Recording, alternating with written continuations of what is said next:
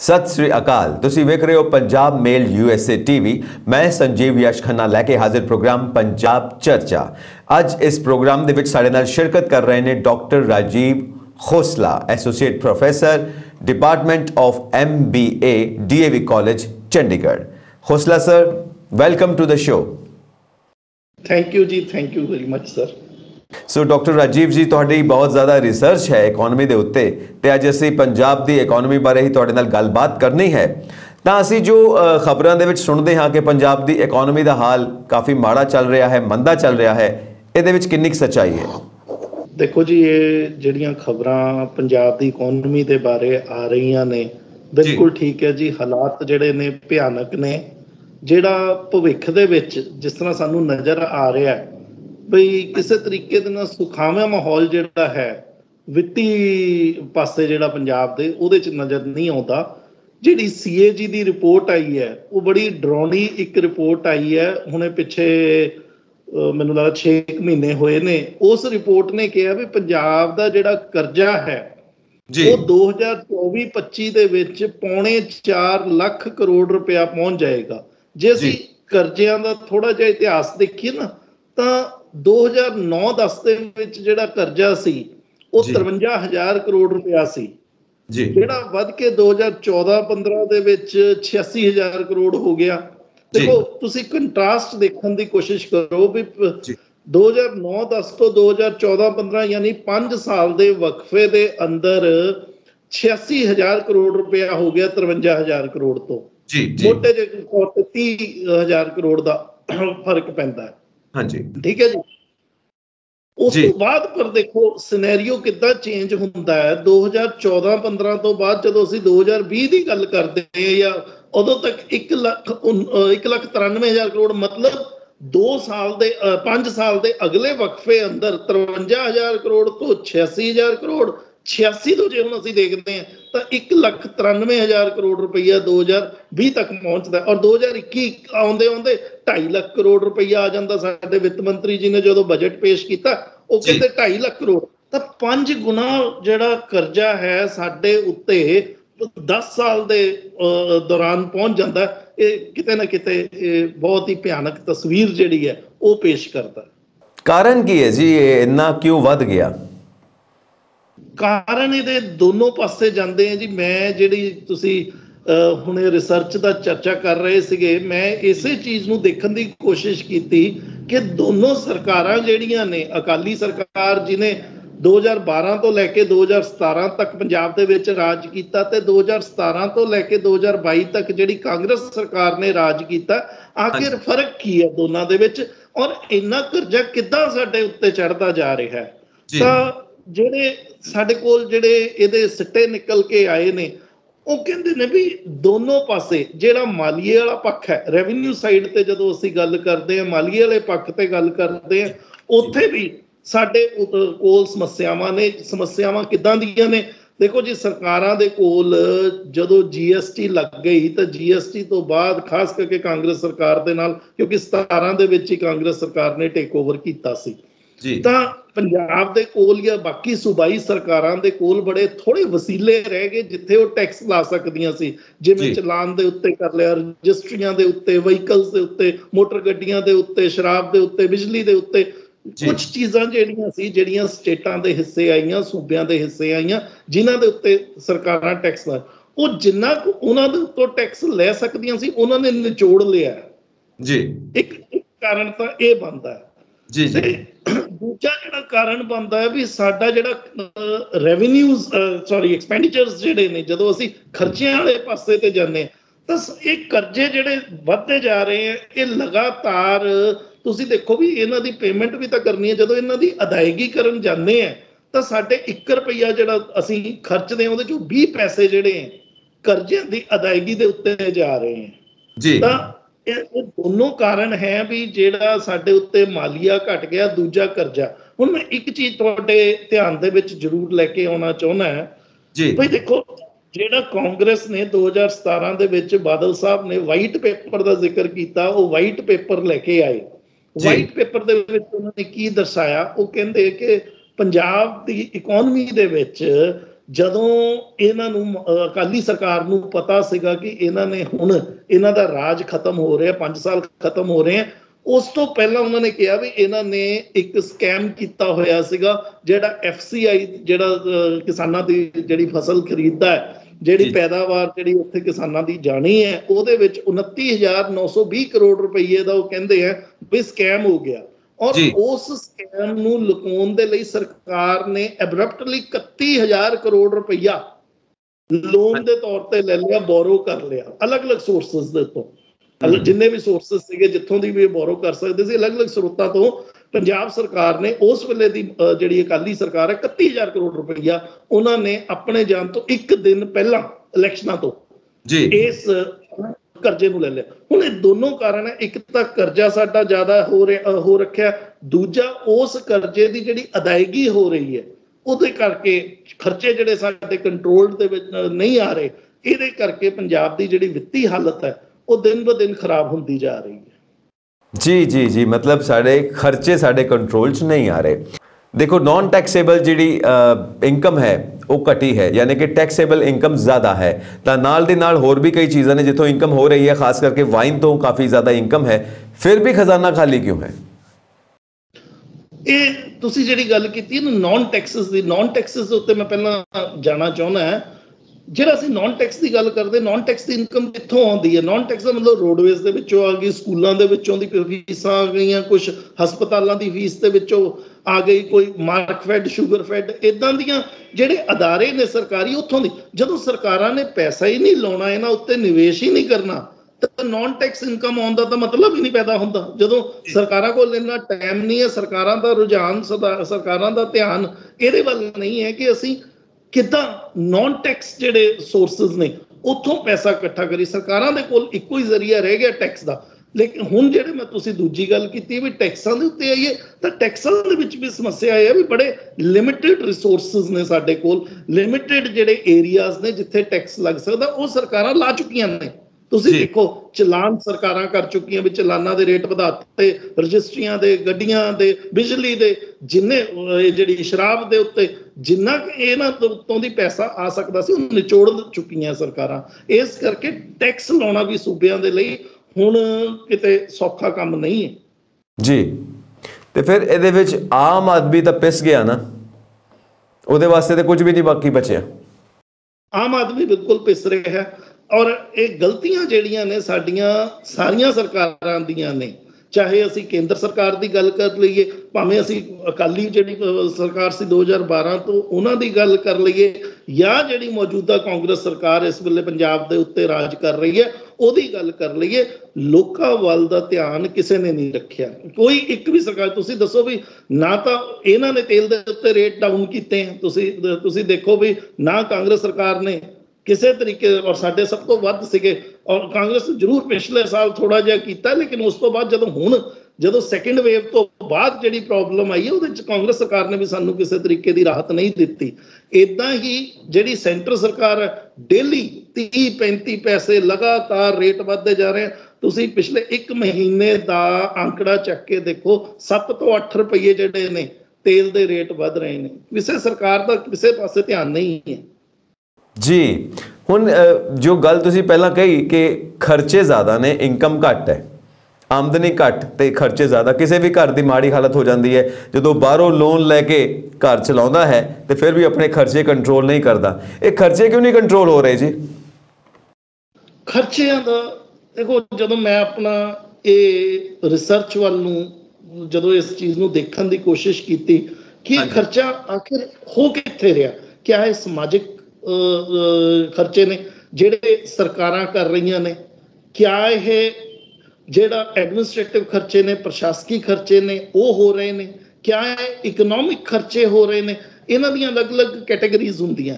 ਤਾਂ ਬੜਾ ਹੀ ਵਿਚਿੱਤਰ ਜਿਹਾ ਇੱਕ ਜਿਹੜਾ ਸਮੀਕਰਨ ਹੈ ਉਹ ਨਿਕਲ ਕੇ ਆਉਂਦਾ ਹੈ ਵੀ ਜਿਹੜਾ ਵਿਆਜ ਦੇ ਉੱਤੇ ਹੈ ਸਾਡੀ ਸਭ ਤੋਂ ਵੱਧ ਜਿਹੜਾ ਪੈਸਾ ਜਾਂਦਾ ਉਹ ਵਿਆਜ ਦੇ ਉੱਤੇ ਜਾ ਰਿਹਾ ਔਰ ਲਗਾਤਾਰ ਵੱਧਦਾ ਜਾ ਰਿਹਾ ਜਿੱਦਾਂ ਜਿੱਦਾਂ ਵਿਆਜ ਵਧੇਗਾ ਜਿੱਦਾਂ ਆਪਾਂ ਪਹਿਲੇ ਭਾਗ ਦੇ ਵਿੱਚ ਗੱਲ ਕੀਤੀ ਹੈ ਵੀ ਵਿਆਜ ਜਦੋਂ ਸਰਕਾਰਾਂ ਕਰਜ਼ੇ ਲੈ ਰਹੀਆਂ ਨੇ ਤੇ ਉਹਦਾ ਵਿਆਜ ਦੀ ਅਦਾਇਗੀ ਹੋਏਗੀ ਉਹਦੇ ਕਰਕੇ ਬੜੀ ਸਿੱਧੀ ਜੀ ਗੱਲ ਹੈ ਜੀ ਵਿਆਜ ਦੇ ਉੱਤੇ ਸਾਡਾ ਪੈਸਾ ਖਰਚ ਹੋ ਰਿਹਾ।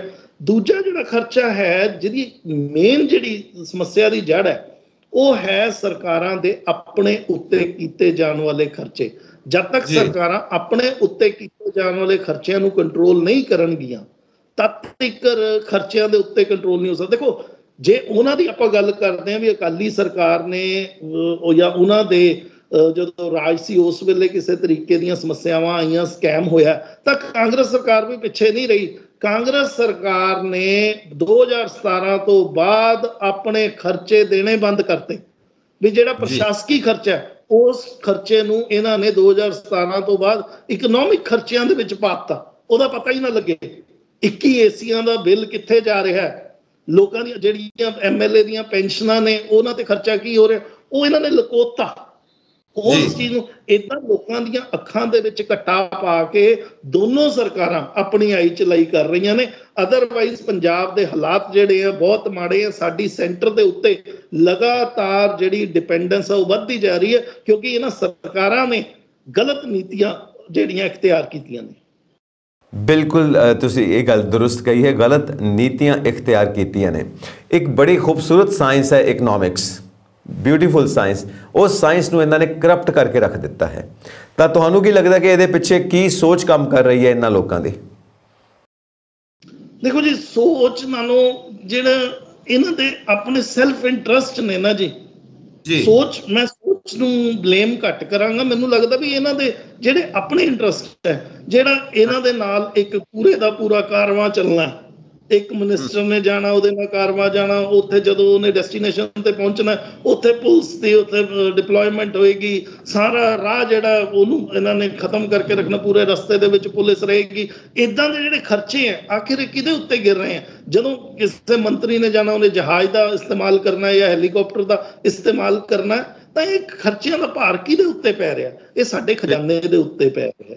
ਇਹਨਾਂ ਚੀਜ਼ਾਂ ਜਿਹੜੀ ਜਿਹੜੀਆਂ ਇਹ ਚੀਜ਼ਾਂ ਹਰੇਕ ਜਿਹੜਾ ਜਿਹੜੇ ਪੁਰਾਣੇ ਸਾਡੇ ਖਬਰਾਂ ਆਈਆਂ ਨੇ ਵੀ ਪੈਨਸ਼ਨਾਂ ਜਿਹੜੀਆਂ ਨੇ 5 5 6 6 7 7 ਪੈਨਸ਼ਨਾਂ ਲਿੱਤੀਆਂ ਐਮਐਲਏ ਨੇ। ਫਿਰ ਉਹ ਜਿਹੜਾ ਉਹਨਾਂ ਦਾ ਪੈਨਸ਼ਨਾਂ ਦਾ ਜਿਹੜਾ ਬਿੱਲ ਹੈ, ਉਹ ਖਜ਼ਾਨੇ ਦੇ ਉੱਤੇ ਪੈ ਰਿਹਾ ਇਹ ਇਹ ਇਹ ਚੀਜ਼ਾਂ ਨੇ ਜਿਹੜੀਆਂ ਸਾਡੇ ਖਰਚੇ ਜਿਹੜੇ ਆ, ਵੀ ਜਦੋਂ ਆਮ ਆਦਮੀ ਨੂੰ ਤੁਸੀਂ ਪੈਨਸ਼ਨ ਖਤਮ ਕਰਤੀ, ਆਪ ਤੁਸੀਂ ਹਰ ਸਾਲ ਪੈਨਸ਼ਨ, ਹਰ ਵੇਲੇ ਹਰ ਟਰਮ ਤੋਂ ਬਾਅਦ ਪੈਨਸ਼ਨ ਲੈ ਲੈਣੀ, ਕਿੱਥੇ ਦਾ ਇਹ ਸਮਝਦਾਰੀ ਹੈ? ਤੇ ਜਿਹੜੇ ਸੈਲਫ ਇੰਟਰਸਟ ਹੈ ਨਾ ਇਹਨਾਂ ਦੇ ਉਹ ਸਾਨੂੰ ਕਿਤੇ ਨਾ ਕਿਤੇ ਜ਼ਿਆਦਾ ਮਾਰ ਕਰ ਰਹੇ ਨੇ। ਮੈਂ ਇਸੇ ਚੀਜ਼ ਨੂੰ ਹੀ ਸੋਚ ਕਹਿ ਰਿਹਾ ਹਾਂ ਕਿ ਇਹਨਾਂ ਦੀ ਸੋਚ ਕੀ ਹੈ? ਦੇਸ਼ ਦੇ ਪ੍ਰਤੀ ਨਾਗਰਿਕਾਂ ਦੇ ਪ੍ਰਤੀ ਭਲਾ ਚਾਹੁੰਦੇ ਨੇ ਸਾਡਾ? ਜਿਹੜੇ ਅੰਕੜੇ ਆ ਜਦੋਂ ਉਹਨਾਂ ਨੂੰ ਦੇਖਦੇ ਆ ਤਾਂ ਇਸ ਸਵਾਲ ਦਾ ਜਿਹੜਾ ਜਵਾਬ ਹੈ ਉਹ ਨਾਂ ਦੇ ਵਿੱਚ ਹੀ ਨਿਕਲਦਾ ਜੀ ਵੀ ਚਾਹੁੰਦੇ ਨਹੀਂ ਲੱਗਦੇ ਵੀ ਲੋਕਾਂ ਦਾ ਵੀ ਭਲਾ ਹੋ ਜੇ। ਹਾਂ ਇੱਕ ਚੀਜ਼ ਜ਼ਰੂਰ ਹੈ ਵੀ ਜਦੋਂ ਇਲੈਕਸ਼ਨਾਂ ਵਾਲਾ ਸਾਲ ਆਉਂਦਾ 2016 17 ਅਦੋਂ ਜ਼ਰੂਰ ਸਾਡੀ ਜਿਹੜੀ ਅੰਕੜੇ ਜਾਂ ਲੋਕਾਂ ਦੇ ਵਿੱਚ ਜਿਹੜੇ ਸਰਕਾਰ ਦਾ ਸਮਾਜਿਕ ਕੰਮਾਂ ਦੇ ਉੱਤੇ ਖਰਚਾ ਜ਼ਰੂਰ ਵਧਿਆ ਭਾਵੇਂ ਉਹ 31000 ਕਰੋੜ ਰੁਪਈਆ ਲੈ ਕੇ ਵਧਿਆ ਹੋਵੇ ਜਾਂ ਜਿਹੜੀਆਂ ਇਲੈਕਸ਼ਨਾਂ ਦੇ ਮੱਦੇ ਨਜ਼ਰ ਵੀ ਇਲੈਕਸ਼ਨਾਂ ਹੁਣ ਸਾਹਮਣੇ ਆ ਤਾਂ ਅਸੀਂ ਲੋਕਾਂ ਦਾ ਕੋਈ ਭਲਾ ਕਰ ਦਈਏ।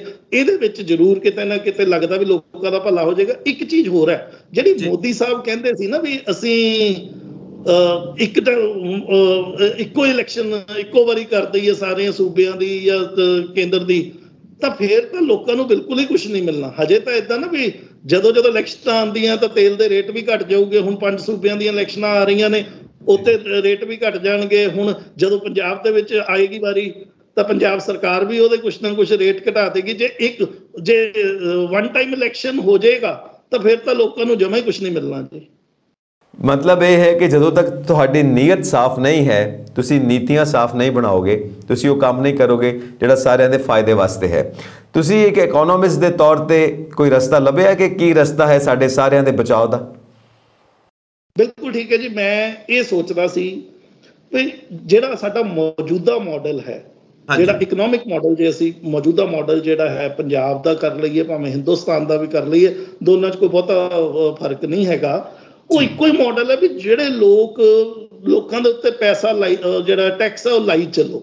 ਚਾਹੇ ਉਹ ਸਿੱਧੇ ਤੌਰ ਤੇ ਜਾਂ ਗੈਰ ਸਿੱਧੇ ਤੌਰ ਤੇ ਡਾਇਰੈਕਟਲੀ ਜਾਂ ਇਨਡਾਇਰੈਕਟਲੀ ਕਿਸੇ ਤਰੀਕੇ ਦਾ ਵੀ ਟੈਕਸ ਜਿਹੜਾ ਲੋਕਾਂ ਨੂੰ ਨਿਚੋੜੀ ਚੱਲੋ ਜਿੱਥੇ ਜਦੋਂ ਤੱਕ ਲੋਕ ਦੇ ਸਕਨੇ ਉਹ ਦੇ ਹੀ ਜਾਣ। ਹਜੇ ਤੱਕ ਦਾ ਸਾਡਾ ਮਾਡਲ ਇਹ ਹੈ। ਜੀ ਮੈਂ ਥੋੜਾ ਜਿਹਾ ਮੈਂ ਥੋੜਾ ਜਿਹਾ ਇਸ ਤੋਂ ਹਟ ਕੇ ਗੱਲ ਕਰਨ ਦੀ ਕੋਸ਼ਿਸ਼ ਕਰਦਾ ਹਾਂ। ਜੀ। ਵੀ ਜੇ ਸਰਕਾਰਾਂ ਜਿਹੜੀਆਂ ਨੇ ਲੋਕਾਂ ਦੇ ਉੱਪਰ ਪੈਸਾ ਖਰਚ ਦੇਣ ਜਿਹਨੂੰ ਪਬਲਿਕ ਇਨਵੈਸਟਮੈਂਟ ਕਹਿੰਦੇ ਅਸੀਂ ਜਨਤਕ ਖਰਚੇ ਜਿਹੜੇ ਨੇ ਜੇ ਜੇ ਸਕੂਲ ਕਾਲਜ ਅਸੀਂ ਦੇਖਿਆ ਬਈ ਪੈਂਡੈਮਿਕ ਦੇ ਵੇਲੇ ਜਾਂ ਕਰੋਨਾ ਦੀ ਫਰਸਟ ਔਰ ਸੈਕੰਡ ਵੇਵ ਵੇਲੇ ਲੋਕਾਂ ਨੂੰ ਸਾਰੇ ਲੋਕ ਜਿਹੜੇ ਇੰਨੇ ਇੰਡੀਆਂ ਮਹਿੰਗਾਈ ਸੀਗੀ ਇੰਨੇ ਪ੍ਰਾਈਵੇਟ ਸੈਕਟਰ ਦੇ ਵਿੱਚ ਇੰਨੇ ਜ਼ਿਆਦਾ ਖਰਚੇ ਨੇ ਲੋਕ ਸਰਕਾਰੀ ਹਸਪੀਟਲਸ ਵੱਲ ਨੂੰ ਦੌੜੇ ਨੇ। ਜੀ। ਅੱਜ ਸਰਕਾਰੀ ਸਕੂਲਾਂ ਵੱਲ ਨੂੰ ਬੱਚਿਆਂ ਦਾ ਰੁਝਾਨ ਹੋ ਗਿਆ, ਜਿਹੜੀਆਂ ਰਿਪੋਰਟਾਂ ਆ ਰਹੀਆਂ, ਜਿਹੜੀਆਂ ਖਬਰਾਂ ਆ ਰਹੀਆਂ। ਤਾਂ ਕਿਉਂ ਨਹੀਂ ਸਰਕਾਰ ਇਸ ਸੈਕਟਰ ਨੂੰ, ਜਿਹੜਾ ਸਰਕਾਰੀ ਖੇਤਰ ਹੈ, ਕਿਉਂ ਅਸੀਂ ਪ੍ਰਾਈਵੇਟ ਖੇਤਰ ਵੱਲ ਨੂੰ ਸਿਰਫ ਸੋਚ ਰਹੇ ਹਾਂ? ਕਿਉਂ ਨਹੀਂ ਸਰਕਾਰ ਜਿਹੜੀ ਹੈ ਜਨਤਕ ਖਰਚੇ ਕਰਦੀ? ਲੋਕਾਂ ਨੂੰ ਉੱਥੇ ਨੌਕਰੀਆਂ ਦੇਵੇ, ਲੋਕਾਂ ਦੀਆਂ ਇਨਕਮਸ ਜਿਹੜੀਆਂ ਨੇ ਉਹ ਵਧਨ ਉਹ ਨਾਲ ਆਪਣੇ ਜਿਹੜੇ ਰਿਸੋਰਸਸ ਨੇ ਜਾਂ ਆਪਣੇ ਜਿਹੜੇ ਐਸੈਟਸ ਨੇ, ਉਹਨਾਂ ਨੂੰ ਕ੍ਰੀਏਟ ਕਰਾਵੇ ਔਰ ਜਦੋਂ ਲੋਕਾਂ ਦੀ ਇਨਕਮ ਵੱਧ ਰਹੀ ਹੈ, ਉਹਦੇ ਉੱਤੇ ਟੈਕਸ ਲਾਵੇ। ਟੈਕਸ ਟੈਕਸ ਮੈਂ ਨਹੀਂ ਕਹਿੰਦਾ ਕਿ ਟੈਕਸ ਨਾ ਲਾਓ, ਤੁਸੀਂ ਜ਼ਰੂਰ, ਲੇਕਿਨ ਲੋਕਾਂ ਨੂੰ ਉਸ ਕਾਬਿਲ ਬਣਾਓ ਕਿ ਉਹਨਾਂ ਉੱਤੇ ਟੈਕਸ ਲੱਗ ਸਕੇ। ਬਗੈਰ ਕਾਬਲੀਅਤ ਦੇ ਤੁਸੀਂ ਟੈਕਸ ਲਾਓਗੇ, ਤਾਂ ਲੋਕ ਅੱਜ ਨਹੀਂ ਤਾਂ ਕੱਲ ਸੜਕਾਂ ਤੇ ਉਤਰਨਗੇ। ਤੁਸੀਂ ਬਿਜਲੀ ਮੁਫਤ ਦੇ ਰਹੇ ਹੋ, ਤੁਸੀਂ ਹੋਰ ਬਹੁਤ ਤਰ੍ਹਾਂ ਦੀਆਂ ਇਨਵੈਸਟਮੈਂਟਸ ਦੀ ਗੱਲ ਕਰ ਰਹੇ ਹੋ ਫੈਸਿਲਿਟੀਆਂ ਦੀ ਗੱਲ ਕਰ ਰਹੇ ਹੋ ਖਜ਼ਾਨਾ ਖਾਲੀ ਹੈ ਪੈਸਾ ਕਿੱਥੋਂ ਆਉਣਾ ਹੈ? ਬਿਲਕੁਲ ਠੀਕ ਹੈ ਜੀ ਜਦੋਂ ਕਿਉਂਕਿ ਉਹ ਸਾਡੀ ਡਿਪੈਂਡੈਂਸ ਜਿਹੜੀ ਹੈ ਜਦੋਂ ਅਸੀਂ ਪੰਜਾਬ ਦੀ ਗੱਲ ਕਰਦੇ ਹਾਂ ਸਾਡੀ ਜਿਹੜੀ ਡਿਪੈਂਡੈਂਸ ਹੈ ਉਹ ਬਹੁਤ ਵੱਡਾ ਇੱਕ ਫੈਕਟਰ ਨਿਕਲ ਕੇ ਆਉਂਦਾ ਵੀ ਸਾਡੀ ਡਿਪੈਂਡੈਂਸ ਜਦੋਂ ਅਸੀਂ ਪੰਜਾਬ ਰਾਜ ਦਾ ਬਾਕੀ ਸੂਬਿਆਂ ਦੇ ਨਾਲ ਮੁਕਾਬਲਾ ਕਰਕੇ ਦੇਖਦੇ ਹਾਂ ਨਾ ਤਾਂ ਸਾਡੀ ਜਿਹੜੀ ਡਿਪੈਂਡੈਂਸ ਹੈ ਪਹਿਲਾਂ ਤਾਂ ਅਸੀਂ ਸਾਡੀ ਇਕਨੋਮੀ ਜਿਹੜੀ ਪੰਜਾਬ ਰਾਜ ਦੀ ਜਿਹੜੀ ਇਕਨੋਮੀ ਹੈ ਸਾਡੀ ਵਿੱਤੀ ਜਿਹੜੀ ਹਾਲਾਤ ਹੈ ਉਹਨੂੰ ਦੇਖੀਏ ਤਾਂ ਅਸੀਂ ਸਭ ਤੋਂ ਪਿੱਛੇ ਖੜੇ ਹੁੰਨੇ ਕਤਾਰ ਦੇ ਵਿੱਚ। 30 ਸੂਬਿਆਂ ਦੇ ਵਿੱਚ ਸਾਡਾ ਜਿਹੜਾ ਨੰਬਰ ਆਉਂਦਾ ਮਾਲੀਆ ਇਕੱਠਾ ਕਰਨ ਚ ਜਾਂ ਪੈਸਾ ਖਰਚਣ ਦੇ ਵਿੱਚ ਉਹ 27 28 29 30 ਇਸ ਪੋਜੀਸ਼ਨ ਦੇ ਉੱਤੇ ਆਉਂਦਾ ਪਹਿਲੀ ਚੀਜ਼। ਦੂਜੀ ਚੀਜ਼ ਜਿਹੜੀ ਹੈ ਟੈਕਸ ਦੇ ਉੱਤੋਂ ਪੈਸਾ ਸਾਡੇ ਕੋਲ ਆ ਨਹੀਂ ਰਿਹਾ ਜਿਹੜੀ ਗੱਲ ਤੁਸੀਂ ਕੀਤੀ ਹੈ ਵੀ ਖਜ਼ਾਨੇ ਸਾਡੇ ਖਾਲੀ ਪਏ ਤਾਂ ਫੇ ਕੰਮ ਕਿੱਥੋਂ ਚੱਲ ਰਿਹਾ? ਇਹ ਇੱਕ ਤਾਂ ਕਰਜ਼ੇ ਇੱਕ ਤਾਂ ਕਰਜ਼ੇ ਲੈ ਕੇ ਚੱਲ ਰਿਹਾ ਨੰਬਰ 1 ਜਿਹੜੇ ਹੁਣ ਤਿੰਨਾਂ ਸਾਲਾਂ ਬਾਅਦ ਸਾਨੂੰ ਮੋੜਨੇ ਪੈਣਗੇ ਜਿਹਦੇ ਕਾਰਨ ਹੋਰ ਟੈਕਸ ਲੱਗਣਗੇ। ਔਰ ਦੂਜਾ ਜਿਹੜੀ ਗੱਲ ਹੈ ਵੀ ਸਾਡਾ ਜਿਹੜਾ ਕੇਂਦਰ ਦੇ ਉੱਤੇ ਹੈ ਉਹ ਸਾਡੀ ਲਗਾਤਾਰ ਡਿਪੈਂਡੈਂਸ ਵੱਧਦੀ ਜਾ ਰਹੀ ਹੈ। ਸਾਡੀ ਨਿਰਭਰਤਾ ਜਿਹੜੀ ਹੈ ਕੇਂਦਰ ਦੇ ਉੱਤੇ ਵੱਧ ਰਹੀ ਹੈ ਜੋ ਕਿ ਇੱਕ ਅੱਛਾ ਸਾਈਨ ਨਹੀਂ ਹੈ। ਜਦੋਂ ਅਸੀਂ ਫਿਸਕਲ ਫੈਡਰਲਿਜ਼ਮ ਦੀ ਗੱਲ ਕਰਦੇ ਹਾਂ ਜਦੋਂ ਅਸੀਂ ਸਟੇਟਾਂ ਦੀ ਆਟੋਨਮੀ ਦੀ ਗੱਲ ਕਰਦੇ ਹਾਂ ਤਾਂ ਉਹ ਤਾਂ ਪਹਿਲਾਂ ਹੀ ਖੋਈ ਜਾ ਚੁੱਕੀ ਹੈ। ਹੁਣ ਹੋਰ ਜ਼ਿਆਦਾ ਅਸੀਂ ਸਰਕਾਰਾਂ ਦੇ ਉੱਤੇ ਕੇਂਦਰ ਸਰਕਾਰ ਵੱਲ ਡਿਪੈਂਡੈਂਟ ਹੋਈ ਜਾ ਰਹੇ ਜੋ ਕਿ ਕਿਸੇ ਵੀ ਤਰੀਕੇ ਦੇ ਨਾਲ ਉਹਨੂੰ ਜਸਟੀਫਾਈ ਨਹੀਂ ਕੀਤਾ ਜਾ ਸਕਦਾ। ਕਿਹੜਾ ਰਾਜ ਹੈ ਭਾਰਤ ਦੇ ਵਿੱਚ ਜਿਨੇ ਆਪਣੇ ਖਰਚੇ ਕੰਟਰੋਲ ਕੀਤੇ ਹੋਏ ਨੇ ਆਮਦਨ ਤੋਂ ਘੱਟ ਰੱਖੇ ਹੋਏ ਨੇ ਤੇ ਬਹੁਤ ਬਿਹਤਰ ਪੋਜੀਸ਼ਨ ਤੇ ਹੈ? ਨੰਬਰ 1 ਤੇ ਕੌਣ ਹੈ? ਮੈਂ ਦੱਸਦਾ ਜੀ ਇਹ ਤਾਂ ਨਹੀਂ ਹੈਗਾ ਕੋਈ ਵੀ ਰਾਜ ਵਿੱਚ ਜਿਹਦੇ ਮਾਲੀਆ ਜ਼ਿਆਦਾ ਆ ਰਿਹਾ ਹੋਵੇ ਕਰਜ਼ੇ ਸਭ ਦੇ ਉੱਤੇ ਚੜੇ ਹੋਏ ਕਰਜ਼ੇ ਸਾਰਿਆਂ ਨੇ ਲਿੱਤੇ ਕਿਉਂਕਿ ਪਾਲਿਸੀਜ਼ ਜਿਹੜੀਆਂ ਨੇ ਨੀਤੀਆਂ ਜਿਹੜੀਆਂ ਨੇ ਇਦਾਂ ਦੀਆਂ ਬੰਦੀਆਂ ਨੇ। ਲੇਕਿਨ ਜਿਹੜੀਆਂ ਛੋਟੀਆਂ ਸਟੇਟਾਂ ਨੇ ਜਿਹੜੇ ਜਿਹੜੀ ਮੇਰੇ ਜੋ ਮੈਂ ਦੇਖਿਆ ਪਿਛਲੇ 10 ਸਾਲ ਦਾ ਜਿਹੜਾ ਮੈਂ ਵਿਸ਼ਲੇਸ਼ਣ ਕੀਤਾ ਤਾਂ ਮੈਨੂੰ ਨਿਕਲ ਕੇ ਆਇਆ ਮੇਰੀ ਰਿਸਰਚ ਦੇ ਵਿੱਚ ਵੀ ਮੇਘਾਲਿਆ ਛੋਟੀਆਂ ਜਿਹੜੀਆਂ ਸਟੇਟਸ ਉੱਥੇ ਮਿਜ਼ੋਰਮ ਤ੍ਰਿਪੁਰਾ ਇਦਾਂ ਦੀਆਂ ਜਿਹੜੀਆਂ ਸਟੇਟਸ ਨੇ ਬਹੁਤ ਨਾਰਥ ਈਸਟ ਦੇ ਨਿੱਕੇ ਨਿੱਕੇ ਰਾਜ ਜਿਹੜੇ ਆ ਉਹ ਉਹਨਾਂ ਦੇ ਜਿਹੜੀ ਲੋਕਾਂ ਦੇ ਉੱਤੇ ਖਰਚਾ ਜਿਹੜਾ ਕੀਤਾ ਉਹ ਜ਼ਿਆਦਾ ਕੀਤਾ। ਜਦੋਂ ਅਸੀਂ ਵੱਡੀਆਂ ਸਟੇਟਸ ਦੀ ਗੱਲ ਕਰਦੇ ਆ ਤਾਂ ਜ਼ਰੂਰ ਸਾਡੇ ਤੋਂ ਉੱਤੇ ਜਿਹੜੀ ਸਟੇਟਸ ਆ ਉਹ ਚੰਗੀਆਂ ਸਟੇਟਸ ਆ ਉਹਨਾਂ ਦੇ ਵਿੱਚ ਜੰਮੂ ਕਸ਼ਮੀਰ ਔਰ ਹਿਮਾਚਲ ਦੋਨੋਂ ਹਿਲ ਸਟੇਟਸ ਜਿਹੜੀਆਂ ਨੇ ਉਹ ਸਾਡੇ ਤੋਂ ਕਿਤੇ ਉੱਪਰ ਨੇ ਜੀ, ਹੁਣ ਆਪਾਂ ਜੇ ਗੱਲ ਕਰੀਏ ਕਿ ਇਹ ਸਾਰਾ ਖਰਚਾ ਵੀ ਤੁਸੀਂ ਦੱਸ ਦਿੱਤਾ, ਇਹ ਸਾਰੀ ਆਮਦਨ ਵੀ ਤੁਸੀਂ ਦੱਸ ਦਿੱਤੀ ਔਰ ਤੁਸੀਂ ਦੱਸਿਆ ਹੈ ਕਿ ਖਰਚੇ ਜ਼ਿਆਦਾ ਨੇ, ਆਮਦਨ ਘੱਟ ਹੈ। ਸੋ ਕਿਸ ਤਰ੍ਹਾਂ ਦਾ ਮਾਡਲ ਅਸੀਂ ਅਪਣਾਈਏ? ਕਿ ਅਸੀਂ ਵੱਧ ਤੋਂ ਵੱਧ ਇਨਕਮ ਇਕੱਠੀ ਕਰ ਸਕੀਏ ਤੇ ਖਰਚੇ ਵੱਧ ਤੋਂ ਵੱਧ ਘਟਾ ਸਕੀਏ, ਕਿਉਂਕਿ ਜਿਹੜਾ ਸਾਰਾ ਕਰਜ਼ਾ ਸਾਡੇ ਉੱਤੇ ਚੜਿਆ ਹੋਇਆ ਹੈ, ਇਹ ਲਾਉਣਾ ਕਿਵੇਂ ਹੈ ਤੇ ਲਾਉਣਾ ਕਿਹਨੇ ਹੈ?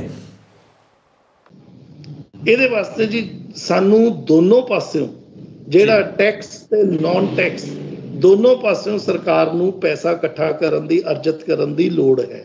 ਜਦੋਂ ਅਸੀਂ ਨਾਨ ਟੈਕਸ ਦੀ ਗੱਲ ਕਰਦੇ ਹਾਂ ਸਾਨੂੰ ਰੋਡਵੇਜ਼ ਵੀ ਠੀਕ ਕਰਨਾ ਪਏਗਾ ਸਾਨੂੰ ਸ਼ੂਗਰ ਫੈਟ ਨੂੰ ਵੀ ਠੀਕ ਕਰਨਾ ਪਏਗਾ ਸਾਨੂੰ ਸਿਹਤ ਖੇਤਰ ਨੂੰ ਵੀ ਠੀਕ ਕਰਨਾ ਪਏਗਾ ਸਾਨੂੰ ਸਿੱਖਿਆ ਖੇਤਰ ਨੂੰ ਵੀ ਠੀਕ ਕਰਨਾ ਪਏਗਾ। ਲੋਕਾਂ ਦੀ ਕਾਬਲੀਅਤ ਨੂੰ ਠੀਕ ਕਰਨਾ ਪਏਗਾ ਤਾਂ ਕਿ ਲੋਕਾਂ ਤੋਂ ਅਸੀਂ ਟੈਕਸ ਲੈਣ ਜੋਗੇ ਹੋ ਜਾਈਏ। ਟੈਕਸ ਦੇਣ ਤੋਂ ਕੋਈ ਮੰਨਾ ਨਹੀਂ ਕਰਦਾ ਨਾ ਤੁਸੀਂ ਨਾ ਮੈਂ। ਲੇਕਿਨ ਸਾਨੂੰ ਟੈਕਸ ਦੇ ਅਗੇਂਸਟ, ਉਸ ਟੈਕਸ ਦੇ ਅਗੇਂਸਟ ਸਾਨੂੰ ਇਹ ਤਾਂ ਪਤਾ ਹੋਵੇ ਵੀ ਸਾਨੂੰ ਇਹ ਜਿਹੜੀਆਂ ਸੁਵਿਧਾਵਾਂ ਨੇ, ਇਹ ਮਿਲਣੀਆਂ ਨੇ। ਜਦੋਂ ਸਾਨੂੰ ਉਹ ਫੈਸਿਲਿਟੀ ਮਿਲ ਨਹੀਂ ਰਹੀ, ਲੋਕਾਂ ਨੂੰ ਤੁਸੀਂ ਟੈਕਸ ਲਾਈ ਜਾਣਾ ਔਰ ਖਰਚਾ ਕਰਨਾ, ਟੈਕਸ ਦੇ ਵਿੱਚੋਂ ਪੈਸਾ ਲੈ ਕੇ ਤੁਸੀਂ ਆਪਣੇ ਕੋਲ ਖਜ਼ਾਨਿਆਂ ਦੇ ਵਿੱਚ ਭਰ ਲੈਣਾ ਹੈ ਜਾਂ ਆਪਣੇ ਪ੍ਰਸ਼ਾਸਕੀ ਖਰਚਿਆਂ ਦੇ ਉੱਤੇ ਲਾਉਣਾ ਤਾਂ ਉੱਥੇ ਕਿਤੇ ਨਾ ਕਿਤੇ ਇੰਬੈਲੈਂਸ ਬਣਦਾ ਮੈਨੂੰ ਲੱਗਦਾ ਵੀ ਸਰਕਾਰ ਜੇ ਸਾਡੀ, ਸਾਡੇ ਵਾਸਤੇ ਇਹ ਸੋਚੇ, ਜਿੱਦਾਂ ਰੂਰਲ ਮਨਰੇਗਾ ਦੀ ਗੱਲ ਹੋ ਰਹੀ ਸੀ ਅਰਬਨ ਮਨਰੇਗਾ ਕਿਉਂ ਨਹੀਂ ਹੋ ਸਕਦੀ? ਅਰਬਨ ਮਨਰੇਗਾ ਹੋਵੇ, ਜਿਹੜੇ ਲੋਕ ਪਿੱਛੇ ਚਲੇ ਗਏ ਜਦੋਂ ਰਿਵਰਸ ਮਾਈਗ੍ਰੇਸ਼ਨ ਹੋਈ ਹੈ, ਜਿਹੜੇ ਲੋਕ ਪਿੰਡਾਂ ਵੱਲ ਚਲੇ ਗਏ, ਪਿੰਡ ਜ਼ਿਆਦਾ ਦੇਰ ਤੱਕ ਐਗਰੀਕਲਚਰ ਉਹਨਾਂ ਨੂੰ ਸਸਟੇਨੈਂਸ ਨਹੀਂ ਦੇ ਸਕਦਾ। ਉਹਨਾਂ ਲੋਕਾਂ ਦੇ ਲਈ ਨੌਕਰੀਆਂ ਜਿਹੜੀਆਂ ਨੇ ਅਰਬਨ ਏਰੀਆਜ਼ ਦੇ ਵਿੱਚ, ਸ਼ਹਿਰੀ ਖੇਤਰ ਦੇ ਵਿੱਚ ਸਰਕਾਰ ਨੂੰ ਉਹਦਾ ਕੋਈ ਨਾ ਕੋਈ ਉਪਰਾਲਾ ਕਰਨਾ ਪਏਗਾ। ਜਦੋਂ ਸਰਕਾਰ ਲੋਕਾਂ ਨੂੰ ਨੌਕਰੀਆਂ ਦੇਗੀ, ਉਹਨਾਂ ਦੇ ਉੱਤੇ ਟੈਕਸ ਆਏਗੀ ਨੈਚੁਰਲੀ ਫਿਰ ਜਿਹੜਾ ਕੰਮ ਹੈ, ਉਹ ਠੀਕ ਹੋਏਗਾ। ਇਹ ਦੋਨੋਂ ਪਾਸਿਓਂ ਕੰਮ ਕਰਨਾ ਪਏਗਾ, ਸਰਕਾਰ ਨੂੰ ਆਪ ਵੀ ਖਰਚਾ ਕਰਨਾ ਪਏਗਾ ਔਰ ਲੋਕਾਂ ਦੇ ਉੱਤੇ ਵੀ ਟੈਕਸ ਲਾਉਣੇ ਪੈਣਗੇ, ਲੇਕਿਨ ਲੋਕਾਂ ਦੀ ਕਾਬਲੀਅਤ ਦੇ ਹਿਸਾਬ ਦੇ ਨਾਲ। ਜਿਹੜੀਆਂ ਗੱਲਾਂ ਤੁਸੀਂ ਦੱਸ ਰਹੇ ਹੋ, ਤੇ ਸਰਕਾਰ ਕੋਲ ਐਡੇ ਐਡੇ ਵੱਡੇ ਐਕਸਪਰਟ ਬੈਠੇ ਨੇ ਥਿੰਕ ਟੈਂਕਸ ਬੈਠੇ ਨੇ ਉਹਨਾਂ ਨੇ ਕਦੀ ਉਹਨਾਂ ਨੂੰ ਆਪਣੀ رائے ਨਹੀਂ ਦਿੱਤੀ ਕਿ ਕਿਸ ਤਰ੍ਹਾਂ ਕੰਮ ਕਰਨਾ ਚਾਹੀਦਾ ਜ਼ਰੂਰ ਦਿੱਤੀ ਹੋਏਗੀ ਜੀ ਹੁਣ ਉਹ رائے ਪ੍ਰਵਾਨ ਕਿੰਨੀ ਚੜਦੀ ਹੈ ਇਹ ਨਹੀਂ ਹੋ ਸਕਦਾ ਕਿਉਂਕਿ ਮੈਂ ਜੇ ਮੈਂ ਕਿਤੇ ਪੜ੍ਹੀ ਹੈ ਤਾਂ ਇਹਦਾ ਮਤਲਬ ਮੈਂ ਜਾਂ ਤਾਂ ਮੇਰੇ ਦਿਮਾਗ 'ਚ ਆਈ ਹੈ ਜਾਂ ਇਦਾਂ ਦਾ ਲਾਈਕਵਾਈਜ਼ ਕੋਈ ਇਹੋ ਜਿਹਾ ਉਪਰਾਲਾ ਕਿਸੇ ਹੋਰ ਵੀ ਬੰਦੇ ਦੇ ਵਿੱਚ ਇਹ ਕਾਰਡ ਜਿਹੜੀ ਹੈ ਕਿਸੇ ਨਾ ਕਿਸੇ ਦੇ ਦਿਮਾਗ 'ਚ ਤਾਂ ਆਈ ਹੋਏਗੀ ਨਾ ਪਰ ਉਹਦੀ ਪ੍ਰਵਾਨਗੀ ਕਿੰਨੀ ਹੈ ਜਦੋਂ ਅਸੀਂ ਕੇਂਦਰ ਦੇ ਉੱਤੇ ਦੇਖਦੇ ਹਾਂ ਵੀ ਸਾਰੇ ਦੇ ਸਾਰੇ ਬੰਦੇ ਰਿਜ਼ਰਵ ਬੈਂਕ ਦੇ ਵਿੱਚੋਂ ਦੀ ਜਿੰਨੇ ਉੱਚ ਕੋਟੀ ਦੇ ਬੰਦੇ ਸੀ, ਉਹ ਵਾਪਸ ਚਲੇ ਜਾਂਦੇ ਆ। ਤਾਂ ਇਹਦਾ ਜਵਾਬ ਜਿਹੜਾ ਸਾਡੇ ਉੱਤੇ ਸਾਫ਼ ਮਿਲ ਜਾਂਦਾ ਵੀ ਉਹ ਪ੍ਰਵਾਨਗੀ ਜਿਹੜੀ ਹੈ, ਉਹ ਉਹ ਉਹ ਜਿਹੜੀ ਰਾਏ ਹੈ, ਉਹਨੂੰ ਕਿੰਨਾ ਕੁ ਸਰਕਾਰਾਂ ਮੰਨਦੀਆਂ, ਉਹ ਪ੍ਰੋਬਲਮੈਟਿਕ ਹੈ ਜੀ। ਨਹੀਂ ਮੰਨਦੀਆਂ, ਤਾਂ ਫਿਰ ਉਹਦਾ ਕਾਰਨ ਕੀ ਹੈ? ਚਾਹੁੰਦੇ ਕੀ ਨੇ? ਕੋਈ ਪੋਲੀਟੀਕਲ ਏਜੰਡਾ ਹੈ? ਸਾਨੂੰ ਗਰੀਬ ਰੱਖਣਾ ਹੈ? ਸਾਨੂੰ ਹਮੇਸ਼ਾ ਡਾਊਨ ਰੱਖਣਾ ਕਿ ਅਸੀਂ ਪਿਸਦੇ ਰਹੀਏ, ਆਪਣੀ ਜ਼ਿੰਦਗੀ ਦੀ ਜੱਦੋ ਜਹਿਦ ਵਿੱਚ ਲੱਗੇ ਰਹੀਏ, ਕੁਝ ਵੀ ਕ੍ਰੀਏਟਿਵ ਨਾ ਸੋਚੀਏ। ਅਸੀਂ ਦੇਸ਼ ਦੇ ਲਈ ਕੰਮ ਕਿਵੇਂ ਕਰ ਸਕਦੇ ਹਾਂ ਸਾਡੇ ਆਪਣੇ ਖਰਚੇ ਨਹੀਂ ਪੂਰੇ ਹੋ ਰਹੇ, ਸਾਡਾ ਪਰਿਵਾਰ ਨਹੀਂ ਤੁਰ ਰਿਹਾ ਚੰਗੀ ਤਰ੍ਹਾਂ। ਸਾਨੂੰ ਰੋਜ਼ੀ ਰੋਟੀ ਦਾ ਖਤਰਾ ਬਣਿਆ ਹੋਇਆ ਹੈ। ਤਾਂ ਫਿਰ ਅਸੀਂ ਚੰਗੇ ਨਾਗਰਿਕ ਕਿਵੇਂ ਸਾਬਿਤ ਹੋ ਸਕਦੇ ਹਾਂ ਜੋ ਭਾਰਤ ਦਾ ਸੰਵਿਧਾਨ ਸਾਡੇ ਤੋਂ ਉਮੀਦ ਕਰਦਾ ਹੈ? ਜੀ। ਦੇਖੋ ਜੀ ਇਹਦੇ ਵਾਸਤੇ ਮੈਂ ਤੁਹਾਨੂੰ ਇੱਕ ਛੋਟੀ ਜੀ ਜਿਹੜਾ ਉਦਾਹਰਣ ਆ ਉਹਦੇ ਨਾਲ ਇਸ ਚੀਜ਼ ਨੂੰ ਸਮਝਾਉਣ ਦੀ ਕੋਸ਼ਿਸ਼ ਕਰਦਾ ਵੀ ਜਿਹੜੀ ਜੀਐਸਟੀ ਲੱਗੀ ਹੈ ਜੀਐਸਟੀ ਦੇ ਵਿੱਚ ਹੁੰਦਾ ਕੀ ਹੈ? ਵੀ ਹਰ ਇੱਕ ਬੰਦਾ ਜਿਹੜਾ ਇਨਪੁਟ ਟੈਕਸ ਕ੍ਰੈਡਿਟ ਹੈ ਜੇ ਕਿਸਾਨ ਨੇ ਚੀਜ਼ ਵੇਚੀ ਕਿਸੇ ਫੈਕਟਰੀ ਨੂੰ ਵੇਚੀ ਫੈਕਟਰੀ ਨੇ ਅੱਗੇ ਉਹਨੂੰ ਵੇਚਤਾ ਵੱਡੇ ਸਰਮਾਇਦਾਰ ਨੂੰ ਵੇਚਤਾ ਸਰਮਾਇਦਾਰ ਨੇ ਅੱਗੇ ਕੰਜ਼ਿਊਮਰ ਤੱਕ ਭੇਜਤੀ ਚੀਜ਼ ਹਰ ਇੱਕ ਪਿਛਲੇ ਵਾਲੇ ਦੇ ਉੱਤੇ ਉਹਨੂੰ ਟੈਕਸ ਜਿਹੜਾ ਵਾਪਸ ਮੋੜਾਣਾ ਸਰਮਾਇਦਾਰ ਨੇ ਜਿੰਨੇ ਦੀ ਵੇਚੀ ਉਹਨੂੰ ਮੁੜਿਆ ਨਾ ਫੈਕਟਰੀ ਤੋਂ ਜਿੰਨੇ ਦੀ ਮਿਲੀ ਉਹਨੂੰ ਟੈਕਸ ਵਾਪਸ ਆ ਜਾਣਾ ਉਧਰੋਂ ਜਿਹੜਾ ਕਿਸਾਨ ਸੀਗਾ ਉਹਨੂੰ ਵੀ ਕਿਤੇ ਨਾ ਕਿਤੋਂ ਜਾਂ ਛੋਟੀ ਫੈਕਟਰੀ ਜੇ ਸੀ ਜੇ ਕਿਸਾਨੀ ਆਪਾਂ ਡਾਇਰੈਕਟ ਨਾਲ ਲਈਏ ਤਾਂ ਜਿਹੜੀਆਂ ਛੋਟੀਆਂ ਚੀਜ਼ਾਂ ਜਿਹੜਾ ਛੋਟੀ ਫੈਕਟਰੀ ਸੀ ਉਹਨੂੰ ਪੈਸਾ ਵਾਪਸ ਮਿਲ ਜਾਣਾ। ਉਹ ਤਾਂ ਸਾਰਿਆਂ ਨੂੰ ਪੈਸਾ ਵਾਪਸ ਆ ਗਿਆ। ਹੁਣ ਮਾਰਿਆ ਕੌਣ ਜਾਂਦਾ? ਮਾਰਿਆ ਜਾਂਦਾ, ਵੱਡੇ ਜਿੰਨੇ ਅਮਾਉਂਟ ਦੀ ਵੱਡੀ ਚੀਜ਼ ਦੇ ਉੱਤੇ ਜਿਹੜਾ ਟੈਕਸ ਲੱਗਦਾ, ਦੇਖੋ ਜੀ 18% ਲੱਗ ਗਿਆ, ਜਾਂ 28% ਲੱਗ ਗਿਆ, ਜਾਂ 12% ਲੱਗ ਗਿਆ, ਉਹ ਤਾਂ ਜਿੰਨਾ ਉੱਪਰ ਹੋਏਗਾ ਰੇਟ ਉਹਨਾਂ ਟੈਕਸ ਸਰਕਾਰ ਨੂੰ ਜ਼ਿਆਦਾ ਮਿਲੇਗਾ। ਉਹਦੇ ਚ ਦੋ ਬੰਦੇ ਤਾਂ ਬਿਲਕੁਲ ਨਿਕਲ ਗਏ, ਸਰਕਾਰ ਨੂੰ ਜ਼ਿਆਦਾ ਟੈਕਸ ਮਿਲ ਜਾਣਾ, ਸਰਕਾਰ ਵੀ ਬਰੀ ਹੋ ਗਈ। ਜਿਹੜਾ ਸਰਮਾਏਦਾਰ ਸੀ, ਜਿਹਨੂੰ ਇਨਪੁਟ ਟੈਕਸ ਕ੍ਰੈਡਿਟ ਆ ਜਾਣਾ, ਪਿਛਲਾ ਜਿੰਨਾ ਸਰਕਾਰ ਨੇ ਟੈਕਸ ਲਾਇਆ, ਉਹ ਉਹਨੂੰ ਵਾਪਸ ਮੋੜਾਣਾ ਇਹ ਦੋਨੋਂ ਬੰਦੇ ਤਾਂ ਬਰੀ ਹੋ ਜਾਂਦੇ ਆ। ਹੁਣ ਮਾਰਿਆ ਕੌਣ ਜਾਂਦਾ? ਜਾਂ ਤੁਸੀਂ ਜਾਂ ਮੈਂ ਜਿਹਦੇ ਚ ਆਮ ਬੰਦਾ ਜਿਹੜਾ ਉਹ ਪਿਸਦਾ ਇੱਕ ਪਾਸੇ ਉਹਦੀ ਇਨਕਮ ਟੁੱਟੀ ਹੋਈ ਹੈ ਉਹਦੀਆਂ ਤਨਖਾਹਾਂ ਟੁੱਟੀਆਂ, ਉਹਦੀਆਂ ਆਮਦਨ ਟੁੱਟੀ ਹੈ ਅਨਐਮਪਲੋਇਮੈਂਟ ਜ਼ਿਆਦਾ ਜਿਹਦੇ ਕਰਕੇ ਉਹ ਬੰਦਾ ਮਾਰਿਆ ਜਾ ਰਿਹਾ ਜਦੋਂ ਨੌਕਰੀਆਂ ਵਾਪਸ ਵੀ ਆਈਆਂ ਨੇ ਪੈਂਡੈਮਿਕ ਤੋਂ ਬਾਅਦ, ਅਜੇ ਵੀ ਤਨਖਾਹਾਂ ਸਾਡੀਆਂ ਘੱਟ ਨੇ, ਪੂਰੀਆਂ ਨਹੀਂ ਹੋਈ ਕਿਤੇ 50% ਘੱਟ ਹੈ, ਕਿਤੇ 60 ਘੱਟ ਹੈ, ਕਿਤੇ 70 ਘੱਟ ਹੈ, ਤਾਂ ਇੱਕ ਤਾਂ ਅਸੀਂ ਉਸ ਪੱਖੋਂ ਮਾਰੇ ਜਾ ਰਹੇ ਦੂਜਾ ਜਿਹੜੀਆਂ ਸਰਕਾਰਾਂ ਨੇ ਇਦਾਂ ਦੇ ਜਿਹੜੇ ਉਪਰਾਲੇ ਕੀਤੇ ਜਿਹਦੇ ਚ ਆਮ ਬੰਦਾ ਜਿਹੜਾ ਪਿਸ ਰਿਹਾ ਟੈਕਸਾਂ ਕਰਕੇ। ਇੱਕ ਗੱਲ ਸਾਹਮਣੇ ਆਉਂਦੀ ਹੈ ਕਿ ਮਾਰਕੀਟ ਫੋਰਸਸ ਕਿੰਨਾ ਜ਼ਿਆਦਾ ਪ੍ਰਭਾਵ ਪਾ ਰਹੀਆਂ ਨੇ, ਕਿਉਂਕਿ ਬਿਜ਼ਨਸ ਦੀ ਬਾਟਮ ਲਾਈਨ ਹੈ ਪ੍ਰੋਫਿਟ ਤੇ ਕੀ ਸਰਕਾਰ ਬਿਜ਼ਨਸ ਕਰ ਰਹੀ ਹੈ ਜਾਂ ਵਾਕਈ ਸੇਵਾ ਕਰ ਰਹੀ ਹੈ, ਜੋ ਕਹਿ ਕੇ ਇਹ ਸੱਤਾ ਚਾਹੁੰਦੇ ਨੇ, ਸਾਡੀਆਂ ਵੋਟਾਂ ਲੈਂਦੇ ਨੇ? ਤਾਂ ਮਾਰਕੀਟ ਫੋਰਸਸ ਦੇ ਪ੍ਰਭਾਵ ਦੇ ਅਧੀਨ ਕਿਉਂ ਕੰਮ ਕਰ ਰਹੀ ਹੈ ਸਰਕਾਰ? ਮਾਰਕੀਟ ਫੋਰਸਸ ਜਿਹੜੀਆਂ ਨੇ ਨਾ ਦੇਖੋ ਜੀ ਇਹ ਸਰਕਾਰਾਂ ਵੀ ਜਿਹੜੀਆਂ ਨੇ ਕਿਤੇ ਨਾ ਕਿਤੇ ਕੰਪੈਲਡ ਹੈ। ਜਦੋਂ ਅਸੀਂ ਇੰਟਰਨੈਸ਼ਨਲ ਮਾਰਕੀਟਸ ਦੀ ਗੱਲ ਕਰਦੇ ਹਾਂ ਕਿਉਂਕਿ ਸਰਕਾਰਾਂ ਜਿਹੜੀਆਂ ਆਈਐਮਐਫ ਦੀ ਗੱਲ ਕਰ ਲਈਏ ਵਰਲਡ ਬੈਂਕ ਦੀ ਗੱਲ ਕਰ ਲਈਏ ਇਹ ਇਹ ਸਾਨੂੰ ਗਾਈਡ ਕਰਦੀਆਂ ਨੇ ਨਹੀਂ ਤਾਂ ਸਾਡਾ ਕੀ ਹੈ ਵੀ ਅਸੀਂ ਬੋਰੋ ਕਰਨਾ। ਸਰਕਾਰਾਂ ਹਰ ਤਰੀਕੇ ਦੀ ਕਿਆ ਕੇਂਦਰ ਸਰਕਾਰ ਬੋਰੋ ਨਹੀਂ ਕਰ ਰਹੀ? 90% 93% ਦਾ ਜਿਹੜਾ ਬੋਰੋ ਹੈ ਕੇਂਦਰ ਸਰਕਾਰ ਨੇ ਵੀ ਕੀਤਾ ਹੋਇਆ ਹੈ ਜੀ। ਹੁਣ ਜਦੋਂ ਅਸੀਂ ਕਰਜ਼ੇ ਲੈ ਰਹੇ ਹਾਂ, ਜਦੋਂ ਕੇਂਦਰ ਸਰਕਾਰ ਵੀ ਕਰਜ਼ੇ ਲੈ ਰਹੀ ਹੈ, ਤਾਂ ਹੁੰਦਾ ਕੀ ਹੈ ਕਿ ਜਿਹੜੀਆਂ ਏਜੰਸੀਜ਼ ਨੇ ਇੰਟਰਨੈਸ਼ਨਲ ਜਿਹੜੀਆਂ ਏਜੰਸੀਜ਼ ਨੇ ਰੇਟਿੰਗ ਏਜੰਸੀ ਚਾਹੇ ਮੂਡੀਜ਼ ਦੀ ਗੱਲ ਕਰ ਲਈਏ ਨਮੂਰਾ ਦੀ ਗੱਲ ਕਰ ਲਈਏ ਸਟੈਂਡਰਡ ਪੂਅਰ ਦੀ ਗੱਲ ਕਰ ਲਈਏ, ਜਦੋਂ ਉਹ ਸਾਡੀ ਸਾਖ ਗਿਰਾ ਦਿੰਦੀਆਂ ਨੇ, ਸਾਨੂੰ ਕਰਜ਼ੇ ਲੈਣੇ ਔਖੇ ਹੋ ਜਾਂਦੇ ਆ। ਤਾਂ ਸਰਕਾਰਾਂ ਉਹਨਾਂ ਤੋਂ ਕਰਜ਼ੇ ਲੈਣ ਦੀ ਖਾਤਰ ਜਾਂ ਸਟਾਕ ਮਾਰਕੀਟਾਂ ਨੂੰ ਚਲਾਉਣ ਦੀ ਖਾਤਰ ਜਾਂ ਸਰਕਾਰਾਂ ਫੋਰਨ ਡਾਇਰੈਕਟ ਇਨਵੈਸਟਮੈਂਟ ਜਿਹੜੀ ਮਲਟੀਨੈਸ਼ਨਲ ਕੰਪਨੀਆਂ ਨੂੰ ਬੁਲਾਉਣ ਦੀ ਖਾਤਰ ਆਪਣੀ ਸਾਖ ਜਿਹੜੀ ਹੈ, ਉਹ ਕਿਸੇ ਤਰੀਕੇ ਨਾਲ ਥੱਲੇ ਨਹੀਂ ਆਉਣ ਦੇਣਾ ਚਾਹੁੰਦੀ।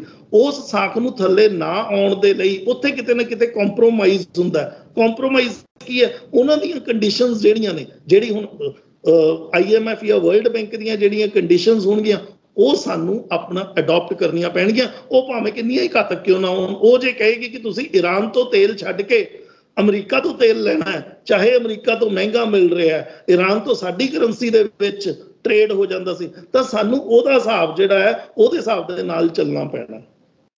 ਮਤਲਬ ਇਹ ਹੈ ਕਿ ਇਸ ਵਕਤ ਸਰਕਾਰ ਜਿਹੜੀ ਹੈ ਇੱਕ ਕੰਪਨੀ ਦਾ ਰੂਪ ਧਾਰਨ ਕਰ ਚੁੱਕੀ ਹੈ ਜਿਸ ਦਾ ਮੋਟਿਵ ਹੈ, ਜਿਹਦਾ ਮੰਤਵ ਹੈ ਪ੍ਰੋਫਿਟ ਕਮਾਣਾ। ਤੇ ਉਹਦੇ ਵਿੱਚ ਵੱਡੇ ਵੱਡੇ ਕਾਰਪੋਰੇਟ ਹਾਊਸਿਸ ਨੂੰ ਤਾਂ ਥਾਂ ਮਿਲ ਸਕਦੀ ਹੈ, ਪਰ ਭਾਰਤ ਦੇ ਆਮ ਨਾਗਰਿਕ ਨੂੰ ਕਿਤੇ ਕੋਈ ਥਾਂ ਨਹੀਂ ਮਿਲ ਸਕਦੀ।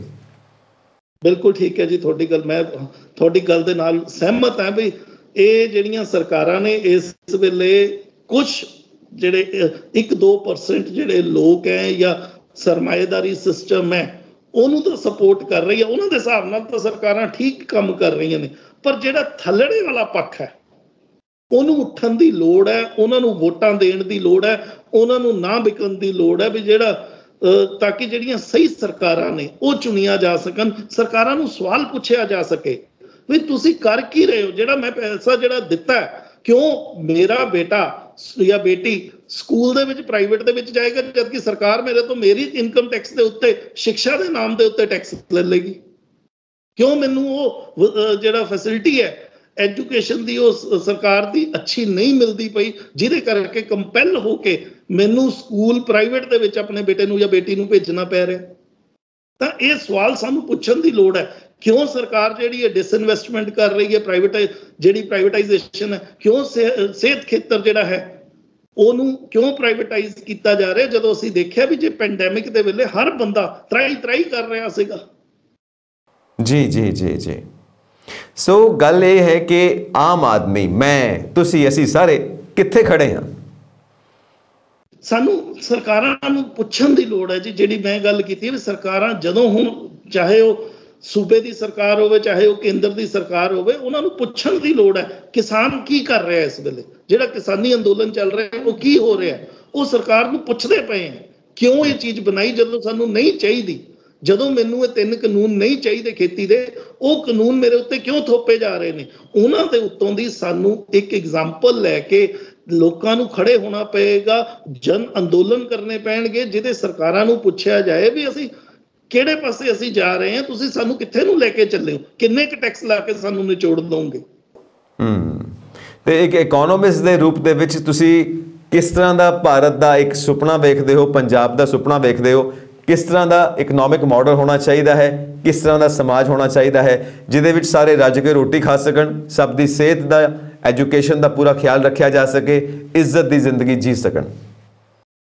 ਜਿਹੜਾ ਸਾਡਾ ਕਨਸਟੀਟਿਊਸ਼ਨ ਬਣਿਆ ਸੀ ਸਾਡੇ ਸੰਵਿਧਾਨ ਦੇ ਵਿੱਚ ਜਿਹੜੀ ਸਰਕਾਰਾਂ ਨੇ ਉਸ ਵੇਲੇ ਦੀਆਂ ਗੱਲਾਂ ਕੀਤੀਆਂ ਸੀ ਜਾਂ ਜਿਹੜੀ ਭੀਮਰਾਓ ਅੰਬੇਦਕਰ ਜੀ ਨੇ ਜਿਹੜੀ ਵਿਚਾਰਧਾਰਾ ਰੱਖੀ ਸੀਗੀ ਸਾਨੂੰ ਉਹ ਵਿਚਾਰਧਾਰਾ ਨੂੰ ਉਹਨੂੰ ਲਾਗੂ ਕਰਨ ਦੀ ਲੋੜ ਹੈ ਜੋ ਪੰਡਤ ਨਹਿਰੂ ਨੇ 1964 ਤੱਕ ਕੀਤਾ ਸੋ ਕੰਮ ਜਿਹੜੀਆਂ ਸਾਡੀਆਂ ਸਰਕਾਰਾਂ ਨੇ ਵੱਡੇ ਵੱਡੇ ਪ੍ਰੋਜੈਕਟ ਲਾਉਣ।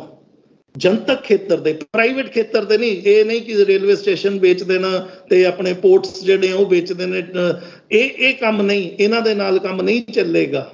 ਕਿਉਂਕਿ ਇਹ ਪ੍ਰਾਈਵੇਟ ਸੈਕਟਰ ਤੁਸੀਂ ਜਾਂ ਮੈਂ, ਸਾਡੇ ਕਿਤੇ ਨਾ ਕਿਤੇ ਸੈਲਫ ਇੰਟਰਸਟ ਵਿੱਚ ਕੰਮ ਕਰਨਗੇ। ਪ੍ਰੋਫਿਟ ਮਾਡਲ ਆ ਜਾਏਗਾ, ਜਦਕਿ ਸਰਕਾਰ ਦੇ ਵਿੱਚ ਇਹ ਮਾਡਲ ਨਹੀਂ ਆਉਂਦਾ। ਜਿਹੜੀ ਜਿਹੜੀ ਸਰਕਾਰ ਹੈ, ਆਪਣੇ ਹਿੱਤ ਪਰੇ ਰੱਖ ਕੇ ਲੋਕਾਂ ਦੇ ਬਾਰੇ ਸੋਚਣ ਲੋਕਾਂ ਦੇ ਵਾਸਤੇ ਪੈਸਾ ਕਰਨ ਜਨਤਕ ਜਿਸ ਵਾਸਤੇ ਅਸੀਂ ਸਰਕਾਰਾਂ ਚੁਣਦੇ ਅਸੀਂ ਕਿਉਂ ਸਰਕਾਰ ਚੁਣਦੇ ਹਾਂ? ਅਦਰਵਾਈਜ਼ ਤਾਂ ਆਟੋਕ੍ਰੇਸੀ ਵੀ ਚੱਲੀ ਜਾ ਰਹੀ ਸੀ ਅਸੀਂ ਸਰਕਾਰੀ ਮਾਡਲ ਕਿਉਂ ਕਿਉਂ ਅਸੀਂ ਡੈਮੋਕ੍ਰੇਸੀ ਚੁਣ ਕੇ ਲੈ ਕੇ ਆਏ ਕਿਉਂ ਅਸੀਂ ਡੈਮੋਕ੍ਰੇਸੀ ਜਿਹੜੀ ਹੈ ਇਹਨੂੰ ਆਪਣਾ ਪਾਰਟ ਹਿੰਦੁਸਤਾਨ ਦਾ ਬਣਾਇਆ ਹੋਇਆ ਹੈ? ਕਿਉਂਕਿ ਸਰਕਾਰਾਂ ਦੀ ਕੋਈ ਜ਼ਿੰਮੇਵਾਰੀ ਹੈ ਲੋਕਾਂ ਵਾਸਤੇ। ਉਹ ਚੀਜ਼ ਜਿਹੜੀ ਸਰਕਾਰਾਂ ਨੂੰ ਪੁੱਛਿਆ ਵੀ ਜਾਵੇ ਔਰ ਸਰਕਾਰਾਂ ਲੋਕਾਂ ਦੇ ਉੱਤੇ ਖਰਚੇ ਕਰਨ ਪ੍ਰਾਈਵੇਟ ਸੈਕਟਰ ਨਾਲ ਜਿੱਥੇ ਸਰਕਾਰ ਨਹੀਂ ਕਰ ਸਕਦੀ ਜਿੱਦਾਂ ਉਸ ਵੇਲੇ 에ਅਰ ਇੰਡੀਆ ਜਿਹੜਾ ਸੀਗਾ ਬੰਬੇ ਪਲਾਨ ਦੇ ਤਹਿਤ 에ਅਰ ਇੰਡੀਆ ਦੇ ਲਈ ਕਹਿਤਾ ਗਿਆ ਸੀਗਾ ਵੀ 에ਅਰ ਇੰਡੀਆ ਵਾਯੂਦੂਤ ਜਿਹੜੀ ਹੈ ਸਰਕਾਰਾਂ ਚਲਾਉਣਗੀਆਂ। ਹੂੰ। ਉਹਨਾਂ ਦੀ ਜਿਹੜੇ ਜਿਹੜੇ ਵੱਡੇ ਵੱਡੇ ਖੇਤਰ ਜਿੱਥੇ ਪ੍ਰਾਈਵੇਟ ਨੇ ਕਿਹਾ ਵੀ ਅਸੀਂ ਨਹੀਂ ਕੰਮ ਕਰਾਂਗੇ ਸਾਡੇ ਕੋਲ ਪੈਸਾ ਨਹੀਂ ਹੈ ਸਰਕਾਰ ਉੱਥੇ ਨਿਵੇਸ਼ ਕਰੇ। ਉਹੀ ਚੀਜ਼ ਜਿਹੜੀ ਹੈ ਸਰਕਾਰਾਂ ਨੂੰ ਹੁਣ ਵੀ ਲੈ ਕੇ ਆਉਣੀ ਪੈਣੀ ਹੈ ਸਰਕਾਰਾਂ ਨੂੰ ਪੈਸਾ ਜਿਹੜਾ ਹੈ ਲੋਕਾਂ ਦੇ ਪ੍ਰਤੀ ਲਾਉਣਾ ਪਏਗਾ, ਜਵਾਬਦੇਹੀ ਤੈਅ ਕਰਨੀ ਪਏਗੀ। ਉਸ ਤੋਂ ਬਾਅਦ ਸਾਡੇ ਮਾਡਲ ਜਿਹੜੇ ਹੈ, ਉਹ ਠੀਕ ਹੋਣਗੇ ਜਦੋਂ ਹਰ ਬੰਦੇ ਦੇ ਹੱਥ ਦੇ ਵਿੱਚ ਰੋਟੀ ਜਿਹੜੀ ਹੈ, ਉਹ ਪਹੁੰਚ ਜਾਏਗੀ। ਜ਼ਾਹਿਰ ਤੌਰ ਤੇ ਘਰ ਦੀਆਂ ਚੀਜ਼ਾਂ ਵੇਚ ਕੇ ਘਰ ਨੂੰ ਨਹੀਂ ਚਲਾਇਆ ਜਾ ਸਕਦਾ।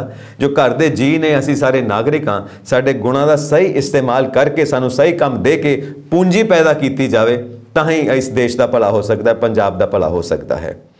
ਬਹੁਤ ਬਹੁਤ ਸ਼ੁਕਰੀਆ ਰਾਜੀਵ ਜੀ, ਤੁਸੀਂ ਸਮਾਂ ਕੱਢ ਕੇ ਸਾਡੇ ਨਾਲ ਗੱਲਬਾਤ ਕੀਤੀ ਪੰਜਾਬ ਦੀ ਇਕਨੋਮੀ ਦੇ ਉੱਤੇ, ਭਾਰਤ ਦੀ ਇਕਨੋਮੀ ਦੇ ਉੱਤੇ ਤੇ ਇਹਦੀ ਦਿਸ਼ਾ ਕੀ ਹੈ, ਇਹਦੀ ਦਸ਼ਾ ਕੀ ਹੈ, ਇਸ ਬਾਰੇ ਪੂਰੀ ਜਾਣਕਾਰੀ ਦਿੱਤੀ। ਬਹੁਤ ਬਹੁਤ ਸ਼ੁਕਰੀਆ ਤੇ ਸਾਡੇ ਦਰਸ਼ਕਾਂ ਦਾ ਵੀ ਬਹੁਤ-ਬਹੁਤ ਸ਼ੁਕਰੀਆ ਕਿ ਤੁਸੀਂ ਇਸ ਪ੍ਰੋਗਰਾਮ ਨੂੰ ਵੇਖਿਆ, ਜਾਂਚਿਆ ਤੇ ਆਪਣੇ ਵਿਚਾਰ ਤੁਸੀਂ ਸਾਡੇ ਨਾਲ ਜ਼ਰੂਰ ਸਾਂਝੇ ਕਰੋਗੇ ਤੇ ਇਸੇ ਤਰ੍ਹਾਂ ਹੀ ਦੇਖਦੇ ਰਹੋ Punjab mail USA TV. All ਦਾ ਬੈਸਟ